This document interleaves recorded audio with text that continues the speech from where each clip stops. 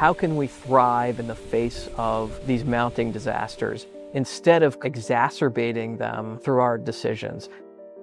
At Texas A&M University, the Institute for Disaster Resilient Texas is a research institute that's primarily focused on taking the best research, science, and data analytics and converting that to decision support to make communities more resilient to disasters over time. We engage once the water recedes and the dust has settled, and then we go in and we think about long term solutions to reduce the impact of the next major event. And the hope is there are ripples in the pond versus tidal waves of catastrophe. I can't wait to get out of bed and come to work.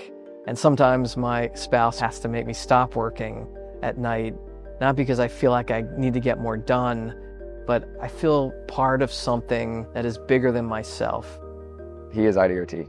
He is Mr. IDRT. He is the reason why the Institute exists and why it is where it is today. So you can actually see this floodway.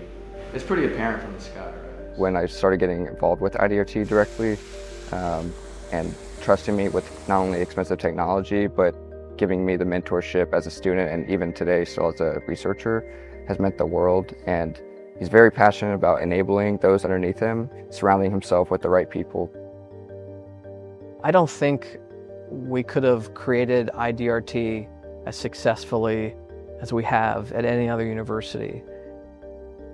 It's being part of a community, a team of people, of interdisciplinary skill sets um, enabling others is what we're all about at the Institute.